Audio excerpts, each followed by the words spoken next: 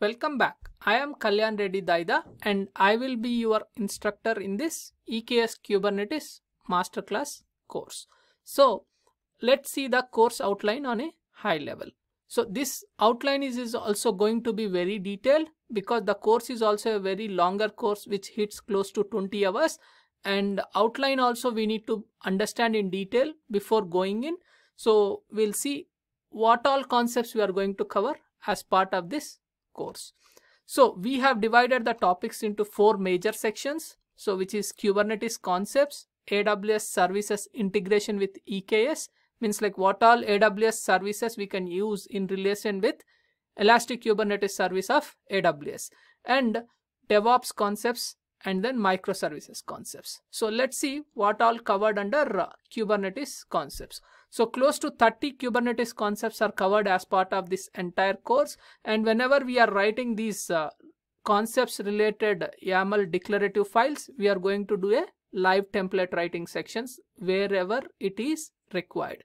So in addition to that, covering all these Kubernetes concepts, we also cover integration with close to 18 or 19 AWS services uh, in relation with EKS, which is Elastic Kubernetes Service. For example, you can see here, so this is EKS and then we'll have Fargate, we'll have Certificate Manager, we'll have Route 53, we'll have Elastic Block Store and RDS database and then Elastic Load Balancing with uh, Classic Load Balancer, Network Load Balancer and uh, application load balancer with ingress service. So like this all whatever the possibility is there which are in integration with EKS we have tried to get them under this course.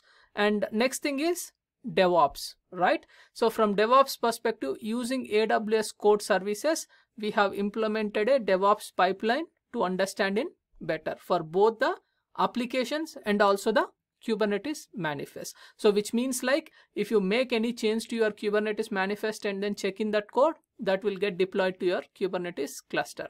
If you make any changes to your application and then check in your application code, so it will build a new Docker image and then deploy to the Kubernetes cluster. So both ways the pipeline is built for you.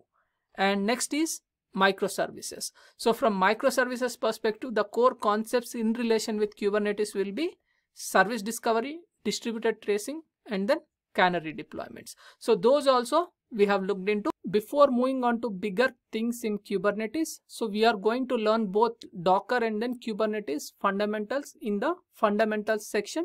So there will be a dedicated Docker fundamentals section available for us. So where we build a simple Docker image, push it to Docker Hub and then even pull from Docker Hub and then understand the Docker terminology like uh, what is Docker registry, what is Docker Hub, what is Docker image, what is container.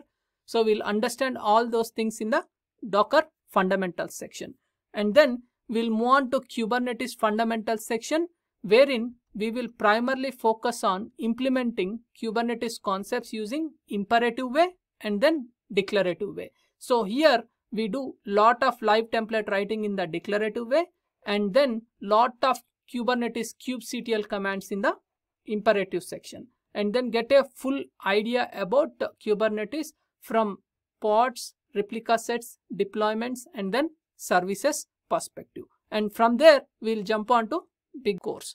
So we will start with in this course with the EKS storage with EBS CSI driver, which is Elastic Block Store. And then we will implement and then learn as part of that, we'll learn how to write a deployment, how to write a MySQL cluster IP service or how to write a node port service and uh, environmental variables, how you are going to define and volumes, volume mounts, everything, whatever is related to this respective section, you will do a live template writing here and then understand all these concepts and then provision these things from your Kubernetes manifest. So, and then you will understand about what are the drawbacks of using EBS CSI driver and what are the advantages you are going to get using RDS database. And then later using external name service, you are going to implement it with RDS database.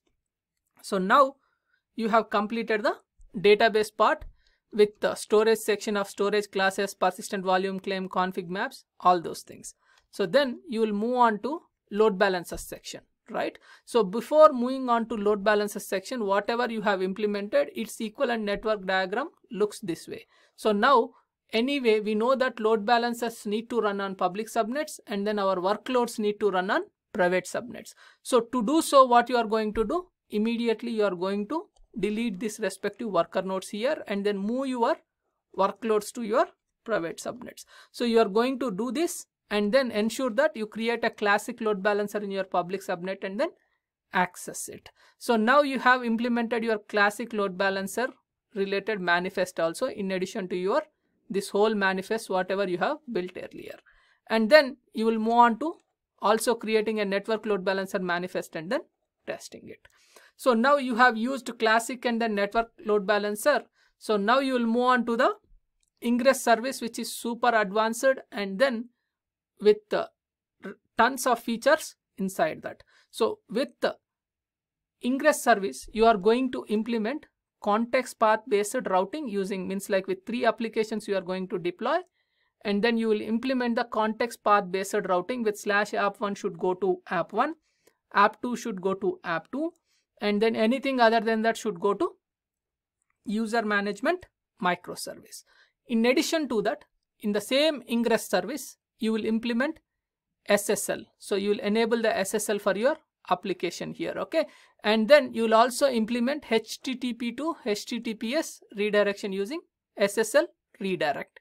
And finally, in ingress load balancer, ALB ingress load balancer, you are also going to implement external DNS. So external DNS, what it does is automatically from the Kubernetes manifest, you are going to register your domain name in the Route 53 service. So that also you are going to do. So all these things once completed means like the we have completed the database part, we have completed the deployments part and we have completed the load balancer part. So then what comes next, right? So how to run these in Fargate serverless. So we'll move on to that section, okay? So in Fargate serverless, what we do is like uh, we will run our workloads in a mixed mode in such a way that we will run few workloads on our regular managed node groups with EC2 instances and then we will also run our Kubernetes pods on Fargate. So we are going to implement this with again three applications app1, app2 and then UMS in a mixed mode deployment. So wherein app1 is running on the EKS managed node groups and UMS and then app2 is running on EKS Fargate profiles. So this one also we are going to look into in detail. And then once we complete the Fargate, so we'll move on to understanding about Elastic Container Registry. So in relation with EKS Elastic Kubernetes Service. So for that purpose, what we do is like we'll move on with creating a new Docker image and then push it to the Elastic Container Registry and then use the Docker image in our Kubernetes cluster by deploying the workloads. So that one we are going to test and as usual we will continue with our ingress load balancer for all these sections also. Anyway we have implemented earlier here. So in our application load balancer section. So we'll continue to use that ingress load balancer in all the upcoming demos for getting complete hands-on on that respective section too. Then we'll move on to the DevOps section and understand the release processes, source, build, test, and then production. And we'll also understand about continuous integration, continuous delivery, continuous deployment, and then infrastructure as code concepts. And then move on to uh, understand about how we are going to implement the DevOps concepts in AWS in relation with Elastic Kubernetes service. So we'll understand about code commit, check in the sample code here, and uh, we'll do the code build means like we'll generate the artifacts and then we'll deploy them to our respective EKS cluster using kubectl and code build combination and then we are going to monitor our applications using CloudWatch container insights. So we are also going to implement this DevOps use case, right? And then we'll move on to the microservices section with two independent microservices built exclusively for testing microservices service discovery and then microservices uh, distributed tracing and then microservices canary deployments. So we are going to use these two services user management microservice and then notification microservice and then implement the full use case okay? So whenever you as a developer when you use postman client and create a user it will call the notification api and then send an email to end user. So these two microservices using service discovery how you are going to deploy to aws eks and then this is the way we are going to deploy. So here we'll have UMS node port service, MySQL external name service, notification cluster IP service. So entire service discovery, how you are going to handle it in, in relation with EKS, you are going to implement end to end. And then you will move on to the next section of uh, distributed tracing. So for distributed tracing, you need to deploy your daemon sets with X-ray pods. So using Kubernetes daemon sets concept, you are going to deploy the X-ray pods and this user management uh, microservice application and then notification microservice application what we have done here is like so we have implemented x-ray using x-ray sdk in those things. So when you deploy those applications so how the x-ray is going to behave and then what happens. So using distributed tracing we are going to see in detail. So whenever distributed tracing is enabled you can see the service map such a way that the request from client comes to user management microservice and then calls the notification microservice. So everything you are going to see in detail. From there, you will move on to traces also. In X-ray traces, if you see here, so the request came to user management microservice and inside that application, it went to get notification app info method and from there it went to Kubernetes uh, Kubernetes service notification cluster IP service and from there again it called the v1 notification microservice which in turn called the means like inside that notification app version service method was called. So these traces also we are going to look into in detail as part of this section. And then finally for microservices we are also going to do the canary deployments, right? So whenever we call the user management microservice, there will be two versions of notification service will be live and the traffic will be distributed based on how much we configure 50, 50 or 75, 25 like that. So it is going to do the traffic distribution to V1 notification and then V2 notification microservices. And using Kubernetes out of the box uh, features, whatever is available with the pod number changing, we are going to implement this canary deployments.